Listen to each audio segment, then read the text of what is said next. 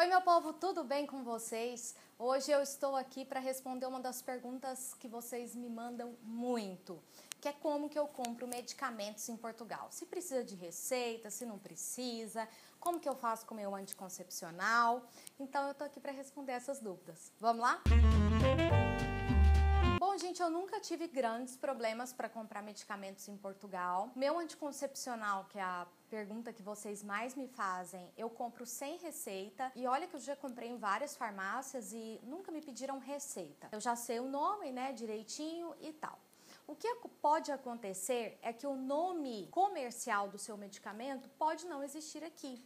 Então pesquise a substância, a droga do seu medicamento e informe ao farmacêutico que nesse caso pode te dizer, ah, o nome comercial é o mesmo ou diferente do Brasil só tem que prestar atenção na quantidade de miligramas, né, etc, ml do que for necessário e se corresponde à mesma da do Brasil. Então nunca tive problema com isso, sempre comprei meu anticoncepcional normalmente e o problema maior que você pode ter é com remédios controlados ou antibióticos injetáveis, enfim. O que, que eu fiz antes de vir para Portugal? Eu fiz consulta com meus médicos, pedi as receitas correspondentes aos medicamentos que eu tomo ou que eu poderia eventualmente precisar. Por exemplo, tem um antibiótico específico que é o que eu uso sempre que eu tenho determinados problemas. Por exemplo, uma sinusite, uma gripe muito forte, a garganta, enfim. Eu já vim com essa receita em mãos e também eu tenho todos os telefones dos meus médicos no Brasil, caso eu precise de conversar com eles,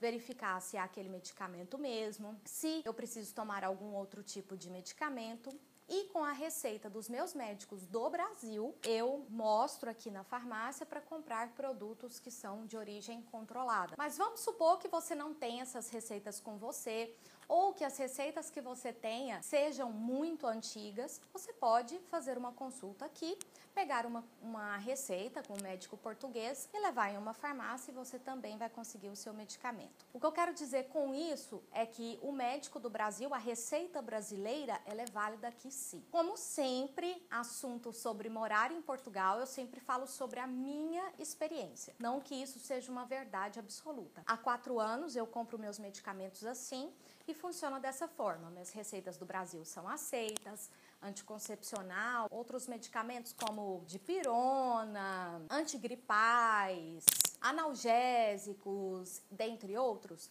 você também consegue comprar sem receita. Não, esses medicamentos não precisam. Vitamina C, né, vitaminas, a gente consegue comprar com tranquilidade. Agora vamos supor que você tome algum remédio muito específico, alguma injeção, alguma coisa assim que você que está mudando agora para cá não sabe se você vai conseguir de imediato ter acesso a esse medicamento, eu aconselho que você traga um pouquinho com você, né, do Brasil, até que você chegue aqui ou faça uma consulta com o médico, pegue uma receita, receita específica para o seu medicamento, isso para não correr o risco de interromper o seu tratamento. Quanto às receitas, né, que tem muita dúvida com relação a isso.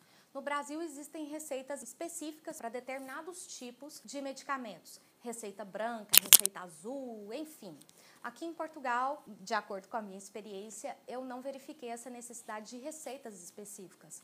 Basta que seu médico faça em um receituário né, clássico, padrão dele, timbrado, com carimbo, com assinatura, com a data que você consegue comprar o medicamento. E também já me perguntaram a respeito de descontos nos valores dos medicamentos. Isso existe em Portugal? Existe sim, mas desde que você faça uma consulta no serviço de saúde pública aqui em Portugal, e aí o médico vai te dar uma receita que tem um código de barra específico e aí você consegue o desconto no seu medicamento.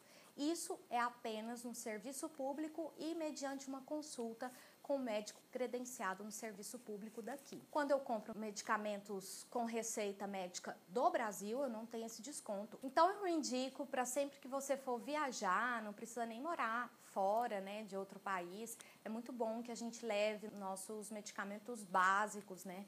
Se você tem muita crise alérgica, que você pelo menos tenha alguns exemplares daqueles medicamentos para não correr o risco de passar uma necessidade de um remédio e você não conseguir comprar. Leve sempre também as receitas dos medicamentos que você usa e que eventualmente você pode precisar. Você tem que ver de acordo com as suas necessidades e esteja munido de toda essa documentação para não correr o risco de ficar sem o remédio. Bom, gente, essa foi a minha experiência. Eu já vim muito precavida com relação a essas receitas, a como comprar, porque eu sempre tive muito medo de precisar comprar e eu não ter como, né? Espero que eu tenha esclarecido para vocês como que foi a minha experiência aqui para comprar remédios em Portugal, especificamente com relação a anticoncepcionais que vocês me perguntam muito.